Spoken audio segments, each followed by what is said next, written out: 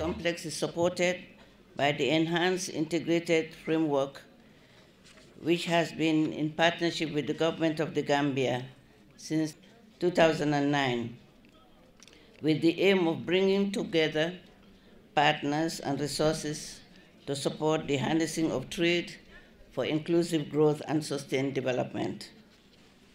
This cargo complex, therefore, which is equipped with light scanners to reduce the processing time of clearing goods and a cold room to preserve preservable goods to improve the quality of Gambian exports for greater international markets, will play an important role in ensuring that the Gambia repositions itself in trade and trade investments.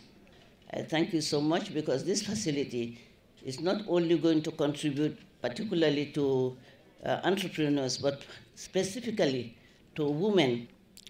This initiative has the potential to improve trade facilitation and increase logistic infrastructure and services at the Banjul International Airport.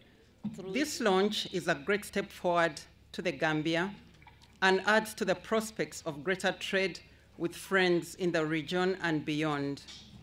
International trade is not only a gateway to economic empowerment at home, but also an instrument of wealth creation for future generations. We share the priorities and vision of the government and hope that this positive achievement may be translated into greater economic growth, supporting portions of society that have not yet reaped benefits of international trade.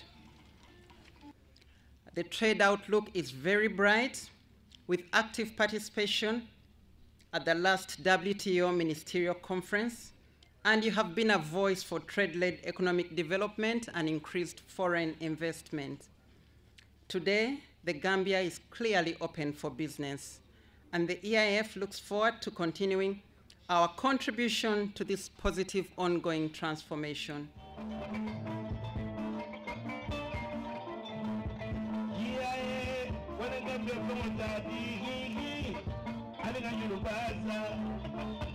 La misión nada ni vaya hoy, yeah, yeah.